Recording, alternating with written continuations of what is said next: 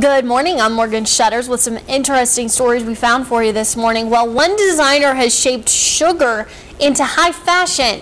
This Portuguese man was initially trained as a pastry chef and he uses that training to turn shaped sugar paste into clothing.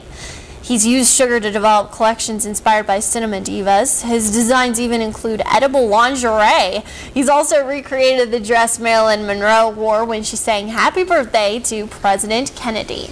Well, move over NASCAR drivers. Here are some creative guys with a need for speed and yard work, apparently. A snow-covered field in rural Finland was the stage for this lawnmower Grand Prix.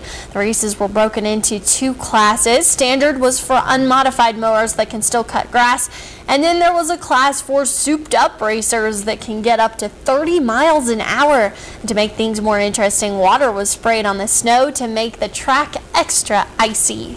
And now a quick look at what's coming up tonight. We're checking in on Clovis, see what they have new today. Also, the Potter County Commission will meet. We'll catch up with what they're working on.